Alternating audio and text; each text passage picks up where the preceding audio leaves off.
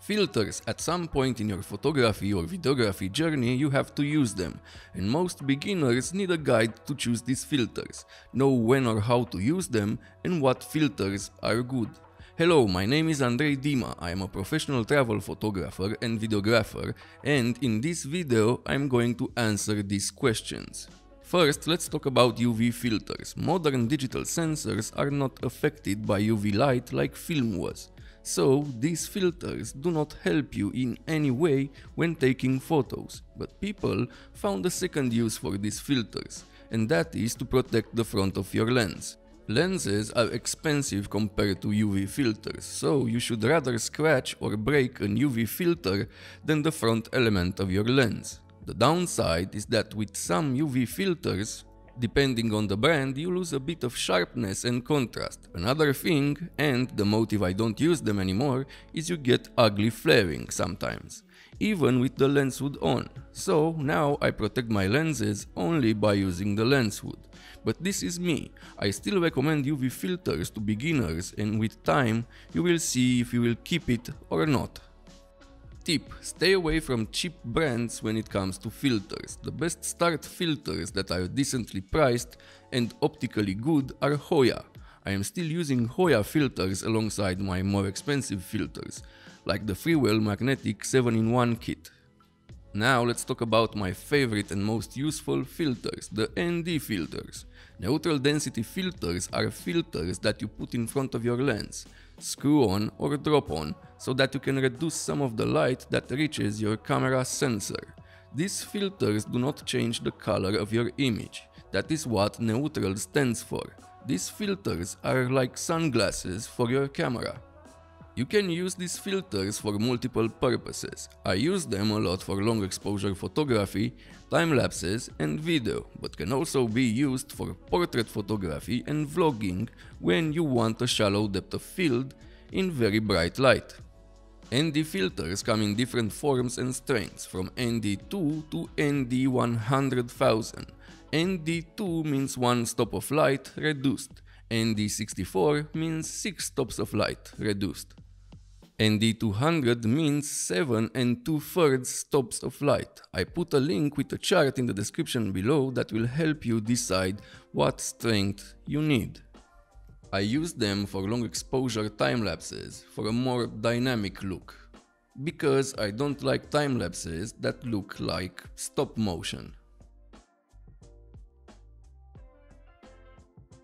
Most ND filters are round and you can mount in front of your lens. For some wider lenses you need a filter holder that uses square or rectangular filters like these ones. You also have graduated ND filters like this one, which are partially dark and the density graduates from top to bottom, from darker to transparent. These are good for landscape photography when you have bright skies or you can reverse it if you have a lot of lights in the foreground and want a brighter sky. You also have variable ND filters. You can rotate the front element of the filter to increase or reduce the amount of light that goes in to your sensor. This type of filters are good if you want to carry just one filter with you. The downside is that these filters create an X shape in your image when approaching maximum density because of the design and construction. But most manufacturers now break them in two, from 3 to 5 stops and 6 to 9. This way you don't get that annoying X shape in your photos and footage. Now, how I use the ND filter for long exposures. The ND filter allows you to use lower shutter speeds so that you can have motion blur in your photos or videos. About video later. Using a tripod you can make moving objects appear blurry in your photos. You can use this when photographing clouds, waterfalls or cars to give a sense of motion to your photos. An example, the ND helps you go from 1 over 50 of a second to an 8 second shutter speed.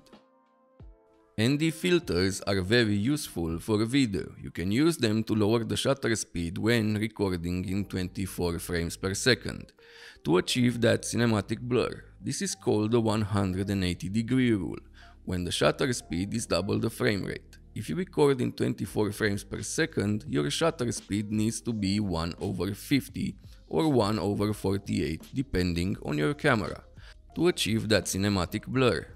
But without an ND filter, your footage is going to be overexposed if recording in bright light. These filters are not as neutral as they say, most of them have a small color cast. The cheaper ones have a bigger one. You should be aware of this when buying ND filters. I use Hoya, which have a good balance between quality and price. A more expensive version I use are from Freewell or Haida. Now let's talk about polarization filters. They are filters you put in front of a camera lens in order to reduce reflections, reduce atmospheric haze, and increase saturation in images. The polarization filter absorbs polarized light, which is light reflected from surfaces and some light from the sky. So with this filter you can reduce reflection from water, like in these photos also from windows. This is good when taking photos from a train and much more. It also darkens the sky. This works when you are 90 degrees from the direction of the sun. When using a wide-angle lens, the effect can be uneven. The polarizer filter also reduces the light that enters the camera, like an ND filter. Depending on the filter, it is between 1 and 3 stops of light and the final filters in this video which have a more aesthetic function, that is why I left them last. These are not for everyone. Diffusion filters. These filters create halation around highlights, like a glowing mist.